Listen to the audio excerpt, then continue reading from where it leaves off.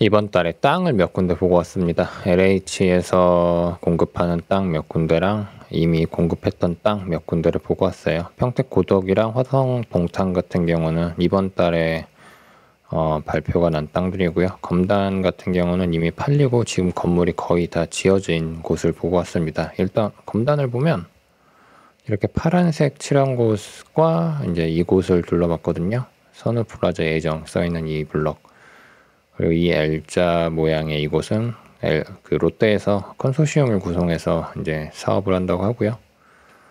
음, 드론을 가지고 가는데 여기가 김포공항 관제권이라 허가를 받지 못한 드론은 날릴 수가 없어서 원당 쪽에서 이제 드론을 날려서 찍은 영상이 이 링크입니다.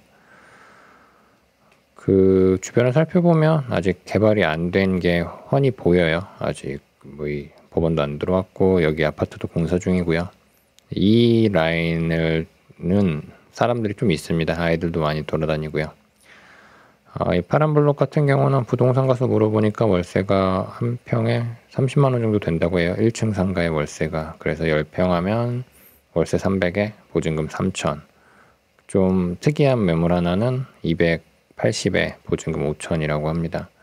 그리고 정확히 기억은 안 나는데 이 연세 프라자인지 연세 프라자 9천지는 모르겠는데 어, 이 시행사에서 분양할 때그 계약자한테 좀 돈을 준 게 있어서 임대차 계약을 맺을 때 그 부분을 요구해 볼 수도 있을 거라는 이야기를 부동산에서 하더라고요. 그리고 이 지역도 그렇고 이 지역도 그렇고 rent free를 뭐 3개월에서 6개월 정도 이야기를 했습니다. 그리고 이 파란색 지역이 먼저 LH에서 땅을 판 곳이고요. 이 곳이 나중에 판 곳인데 이 뒤쪽에 있는 땅이 낙찰가가 또 높습니다. 그래서 분양가가 또 높고 그러니까 월세도 또 높다고 해요. 어, 너무 비싼 것 같습니다. 10평에 300만 원이에요, 월세. 부동산에 물어봤을 때 본인 부동산 중개사 분도 멋져고 하면서 말씀하시더라고요. 그래서 왜 저한테 되려 놀라지 않냐고 반문하시기도 했습니다. 동탄 같은 경우는 일단 이곳에 가봤습니다. 텅텅 비어 있어요, 여기도. 어, 여기는 택지고요. 두 세대까지 지을 수 있습니다. 단독주택 용지고요. 두 세대가 이제 두 가구까지 만들 수 있어요. 하나 신기한 거는 근처 땅에 등기부를 몇 개 떼봤는데 땅 가격이랑 똑같은 가격에 근저당이 걸려 있는 물건이 좀 있어요. 이게 LH가 처음에 땅을 팔 때랑 이게 지금 땅을 팔 때랑 가격 차이가 크게 안 나는데 지가는 그만 더 많이 상승을 해서 이제 낙찰을 받 이게 뭐야 낙찰이 아니라 추첨을 받으면 추첨을 받아서 감정평가라면 주변 집가 상승에 대한 것들이 고려가 돼가지고 이제 감정가가 높게 잡히나 봐요. 그래서 땅값을 거의 대부분 대출받을 수 있는 그런 장소인 것 같습니다. 조용하고 좋은 것 같아요. 근데 이런데 캠핑카 같은 것들이 되게 많이 불법 주차되어 있습니다. 그리고 뭐 이렇게 드론으로 여기는 찍은 영상도 있어요. 고덕 같은 경우는 한 군데만 가봤습니다. 어, 기억이 잘 안 나서 지도를 보면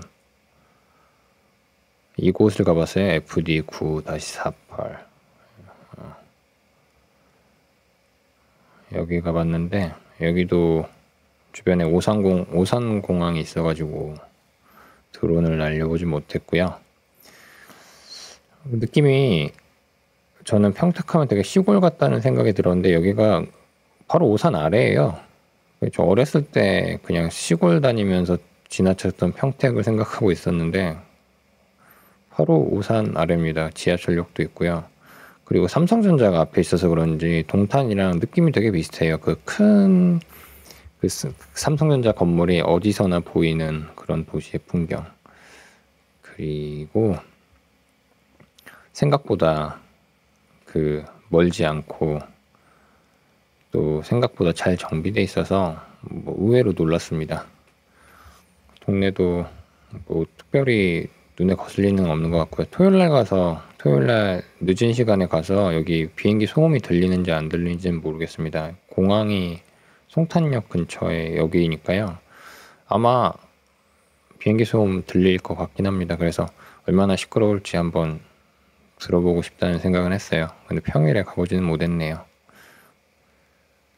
이렇게 봤고요. 지금, 지금 이 페이지의 주소는 한번 이 아래에 남겨놓겠습니다. 그리고 이게 그 고덕 지구 갔던 사진이거든요. 이 FD9-4-8 의외로 동탄 같은 느낌이 나서 놀랐습니다. 여기 이 몬드리안 그림에서 따온 어, 그림이 공장에 그려져 있잖아요. 이거 동탄에도 똑같이 이렇게 있는데 어, 이런 느낌입니다. 여기도 아까 동탄이랑 마찬가지로 지가가 많이 상승돼서 그 추첨을 받았을 때 감정 평가를 하면 평가액이 꽤 많이 나오나 봐요. 그 주변 등기 띄어보면 땅값을 100% 대출받은 어, 그런 것도 있습니다. 아파트들도 이렇게 보이고요. 그냥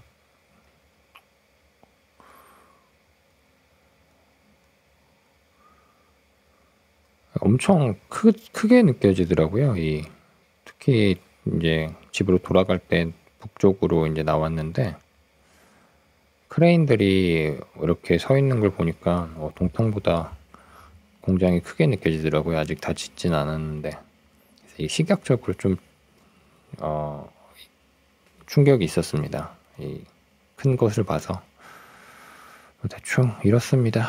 그래서 이거를 좀 잘 만들어 볼까 해요. 어, 낙찰률에 따라서 색깔도 바뀌게 하고 또 지금처럼 LH의 물건만을 나열하는 게 아니라 뭐 경매 물건도 다른 색깔로 해서 뭐 나타나기도 하고 시간이 날 때 하나씩 하나씩 만들어 보려고 합니다. 그러니까 혹시 뭔가 생각이 있으시면 꼭 남겨주시면 좋겠습니다.